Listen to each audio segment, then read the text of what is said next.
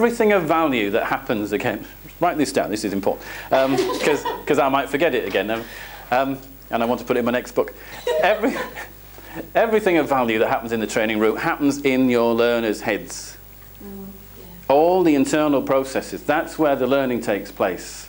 It's not to do with what you're doing. You, you do what you do to set up that internal process.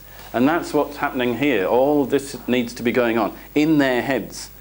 The times at which you step, step back, stop talking, stop giving them stuff, and let them do that reflection is where all, that's where the money is, if you like. That's, that's where all the important work is going on.